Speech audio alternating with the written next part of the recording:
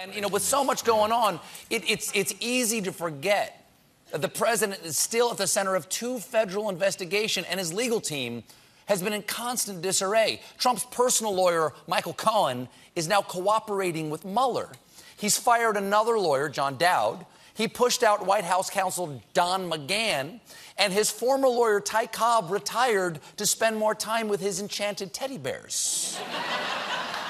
so Donald Trump constantly has to hire replacements. In fact, nearly a dozen lawyers are currently helping the president, while one is definitely hurting the president.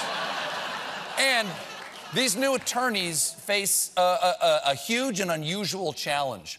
They have no idea what's going on because it's not clear if Trump has given them a full account of key events he's been involved in. And former lawyer John Dowd left them few notes or files about the case, although he did leave this welcome message on the wall. Very nice of him. Your lovely handwriting. Oh, man.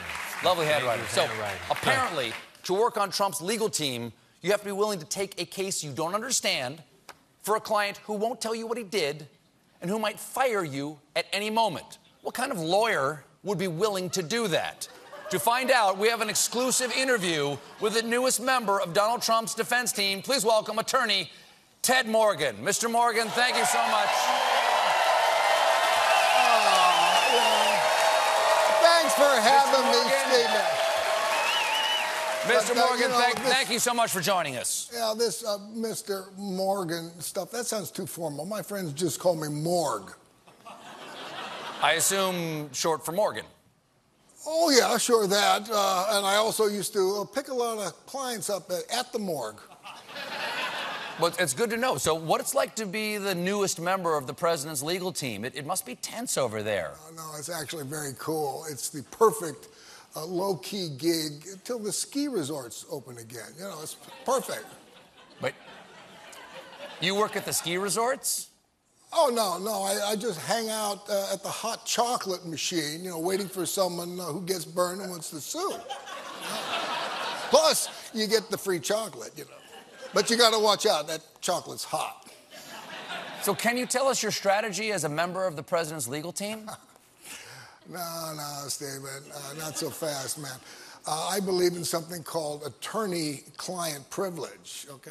Okay, but what, tell me this what about the reports that you don't even know the details of these investigations? Oh, yeah, well, I also believe in something called attorney what the client did privilege, you see? Basically, the less I know about Trump, the more I think he's innocent.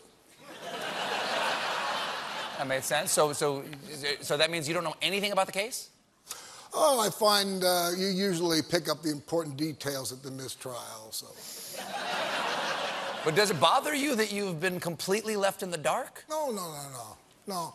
Uh, that just gives me fresh eyes. You know, I, I like to look at a trial from every side. I've been a lawyer, I've been a defendant, I was a bailiff, I uh, house sat for Judge Judy, you know. hey, I volunteer as often as I can for jury duty. Wait, did you say you just you volunteer for jury duty? Oh, yeah, yeah. You know, uh, if you get sequestered, they put you up in this uh, nice hotel. Did you know uh, that a lot of those places, they give you a free breakfast buffet?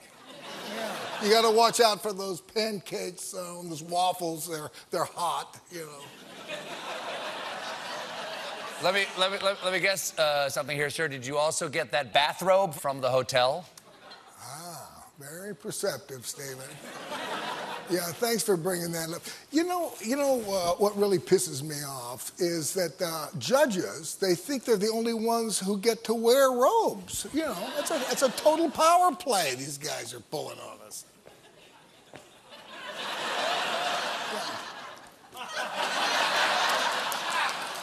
Well, give you a moment to chew, sir. Well, Go ahead. you're dealing ahead. with some very serious investigations here. Have you been contacted by the special counsel's office? Oh yeah, totally. I talk to Mueller all the time. I keep calling him up to ask if uh, this stuff that Trump is doing is illegal. You know, he's got a very good eye for that kind of thing. But what about the president? D- does he understand how much legal jeopardy he's in? Oh, of course, Stephen. Uh, Trump. Um, Trump's a very smart guy. You know, when I first met him, he looked right at me and said, How'd you sneak that, that margarita in here, man? Wait. Wait, how, how did you sneak that margarita in here? See, you're smart too. Uh, you're not a cop, are you? You, know, you have to tell me if you're a cop. No, I'm not. I'm not a cop, Morg. Um, but look, without knowing the details of the case, are you positive you can actually win? I'm positive about winning. Yeah, I'm also very positive about losing. Yeah, the important thing is stay positive.